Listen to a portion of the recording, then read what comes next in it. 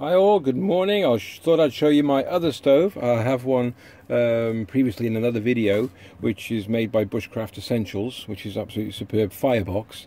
This one is um, a gasifying stove. I bought this very few, well about four years ago, three years ago. Um, it was cost about £30, there's some really cheap ones on the market at the moment. I don't know what the quality is like. I like the quality of the one I've got the I store it in this because it packs away beautifully. This is the MSR Seagull, um, which is quite a versatile bit of kit. You could use that as a little bit of a saucepan, put some eggs and something. I put it in a bag so it doesn't actually damage the, the pot. Fits beautifully in here. Okay, like I said, this is the MSR Seagull. Small pot. Uh, also a bit of foil. What I tend to do with this, if I'm using the pot or the kettle, because they're both stainless steel, if you want to keep them relatively tidy, you can just wrap this around the bottom. But that's entirely it's just preference. Um, I tend to buy stainless steel most of my stuff. I'm not a keen believer in aluminium, even though it's lighter.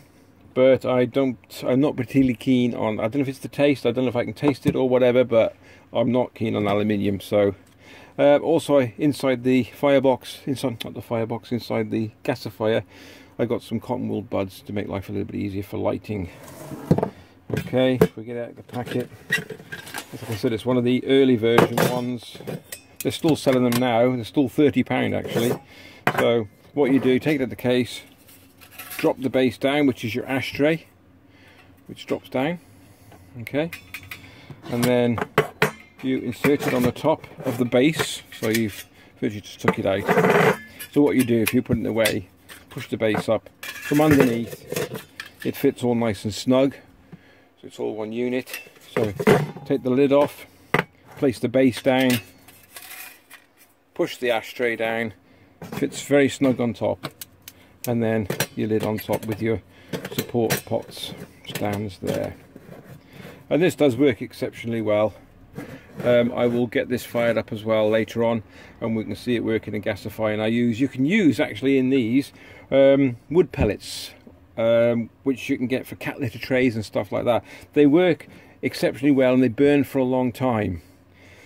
The only thing is that you could you could use your kettle on it which fits beautifully but I don't think I would cook on it to be honest with you but the simple reason is I don't I would cook on this using ordinary wood and oak chips and stuff like that but not the cat pellets because I'm not too sure what sort of gas they give off.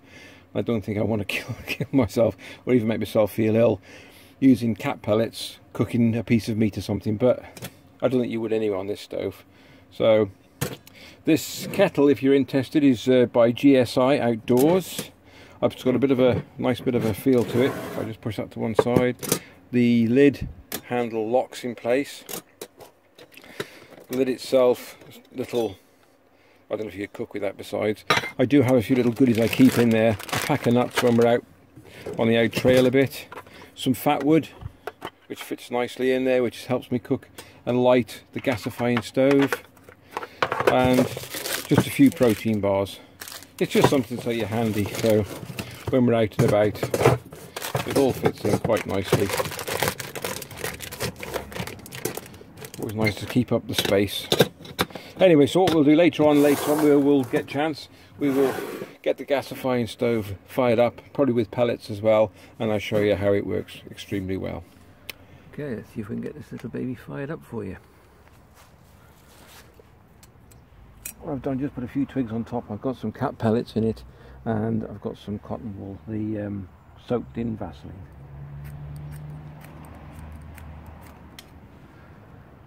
Pretty easy to light. Cat's going mad.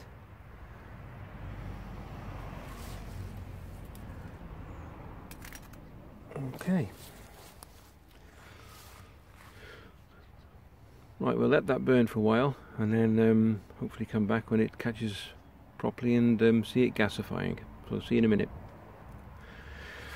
Okay, you can see it's starting to catch now. Um, what I tend to do as well, you've got the holes around the top, if you can see them in the camera.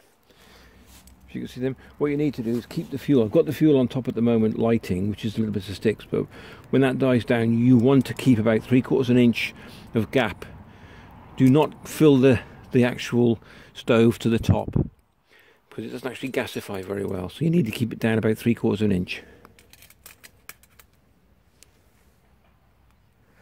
and I do believe with these stoves that you light them from the top not from the bottom um, that's the general idea. Whether I'm right or wrong, I'm not going to go into a debate with it, but I do believe you light from the top. Okay, looks like she's starting to gasify. So what I'll probably do now is um, I've got my stainless steel kettle, which I'm very proud of, and I'm going to put it on. I've got two cups of water in this, so we'll see how she fares. Okay, we'll see how long that takes.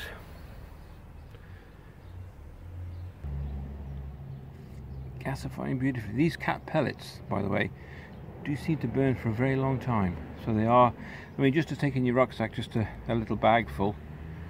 There's no biggie. They're not heavy.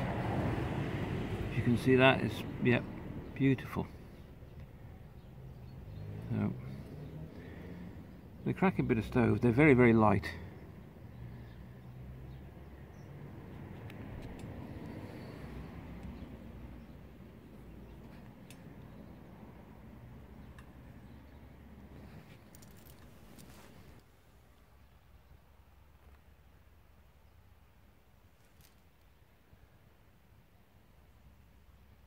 Gasifying like a dream. What a cracking bit of kit.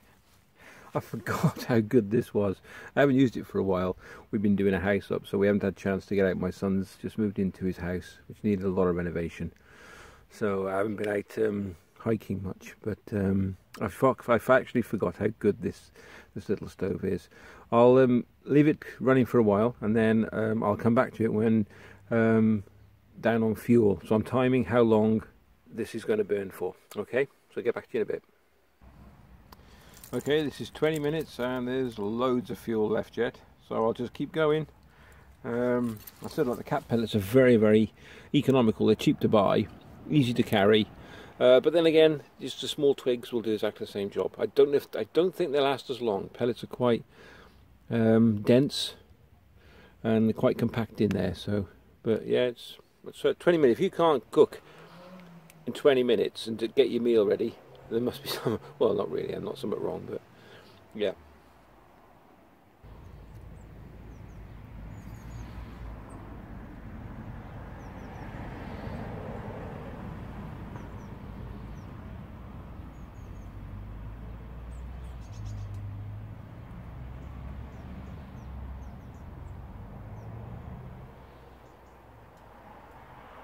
I actually feel the heat from that.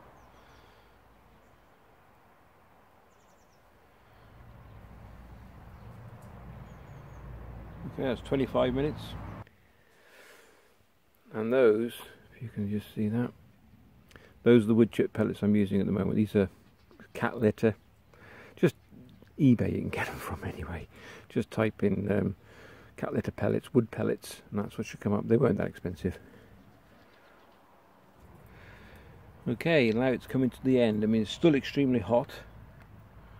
You can see the embers at the bottom, but we're almost done. So approximately 25-30 minutes. That last bit did burn quite quick.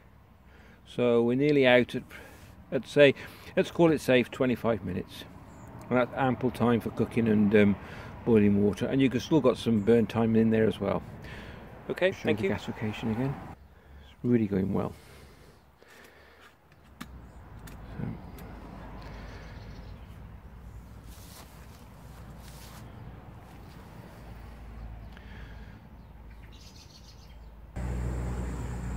Okay, looks like we have a nice rolling boil, about three minutes, so it's pretty good.